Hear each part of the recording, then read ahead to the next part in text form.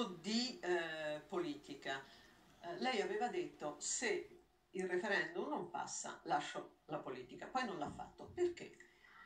Abbiamo perso il referendum e l'abbiamo perso in modo netto, sicuramente, tanto che poi Renzi si è dimesso e inizialmente anch'io devo dire che anche appunto per, per orgoglio personale, forse la cosa più semplice sarebbe stata anche per me lasciare.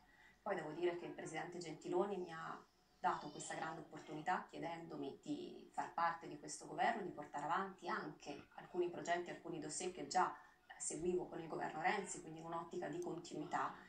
E devo dire che ho colto questa grande opportunità che mi è stata concessa proprio per cercare di continuare a dare il mio contributo, a fare del mio meglio.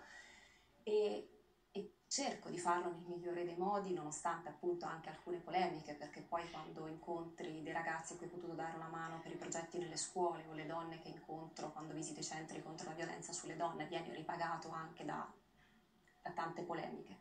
Poi forse fa parte anche del crescere, sapere che anche di fronte ad una sconfitta, che è stata sicuramente anche una ferita, ovviamente una delusione, poi si cerca di ripartire, si prova a ricominciare con, con, umiltà, con il lavoro sodo, con le ore passate. Lei una volta qui all'intervista mi ha detto che il suo politico di riferimento era Fanfani, ehm, che era noto come il Rieccolo.